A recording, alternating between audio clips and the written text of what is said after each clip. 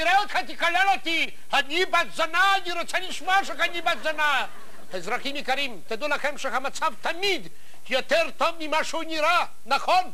יורים בכל מקום במדינה, מכוניות מתפוצצות, אה, אה, אה, בתים נופלים וקורסים, מדינות ערב מתחמשות בנשק לא קונבנציונלי וכאן אנחנו על סף מלחמה נוראית שבה כנראה נפסיד. objection, אבל מה זה קשור? המצב תמיד יכול להיות יותר גרוע. תארו לעצמכם שגם אימא שלכם לא הייתה אוהבת אתכם כמו שאימא שלי לא אוהבת אותי. כל מה שעשיתי לך היה טוב. מה היא רצתה שאני אעשי לה? מה? מה? שאני כנימה? שאני תתעצלים? שאני אקרא את הוורידים שלי? למה? למה אני קרא? מה שאני עשיתי לה? וכדבר הזה איננו מקובל עליי.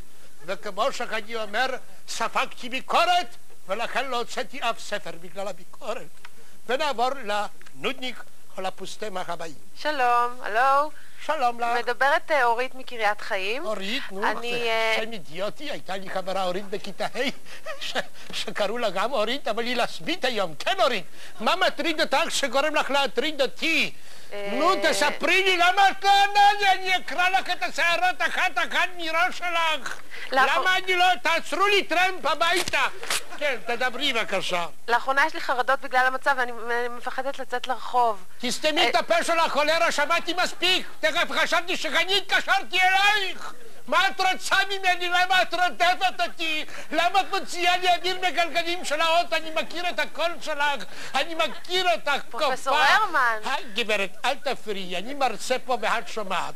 המילה חרדה מורכבת משני דברים, חרא ודה. אם מצרפים את החרא ואת הדה, אנחנו מקבלים חרדה. מה שאני מציע לך לוותר על החרא ולהתרכז בדה. ואגב, אני רק רוצה להזכיר לך שמי שצריך לפחד כשאת יוצאת לרחוב זה דווקא האנשים שנתקלים בך. ההצעה שלי אלייך, אל תצאי לרחוב גם למען עצמך ובעיקר למען הציבור שמשלם מיסים כחוק ואינו חייב לראות אותך. אבל אם את בכל זאת חייבת לשאוף אוויר, אז תשתלטי שזה יקרה לך בספארי, שזורקים עלייך במבה וגרעינים בקליפות של פיסטוק. שקט, אני לא רוצה לשמוע אותך. הלו, הלו. אפשר לחשוב מאיפה את נמצאת. בעיה שלך.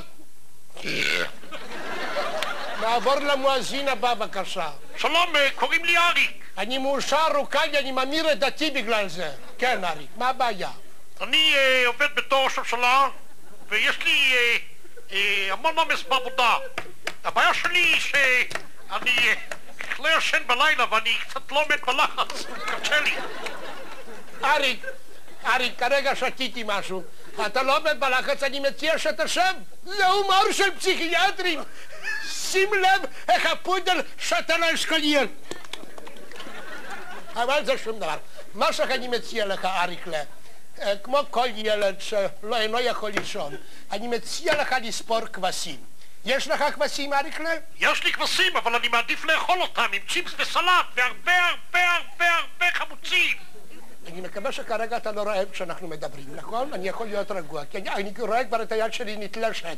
אז uh, אתה צריך לחשוב על מחשבות חיוביות ומרגיעות שיביאו אותך למצב שתוכל להירדם טוב ולהרגיש נעים ולקום בבוקר רענן ומוכן לעבודה כמו בן אדם נורמלי. תחשוב על ערפאת מת, תחשוב על מטוס לובי שנופל לים, תחשוב על מובארק שמתחתן עם אסד ונולד עם ילד אינפנטילי, תחשוב על שאיראן עולה באש ולא נשאר ממנה כלום, תחשוב שהכניסו שיפוט בתחת של בן לאדן ונסראללה למעלה עם בצל, מטגנים אותם על האש שככה יהיה קצוץ קצוץ ונאכל את כולם ביחד. אה, אריק, זה, זה, מה זה גורם לך לעשות?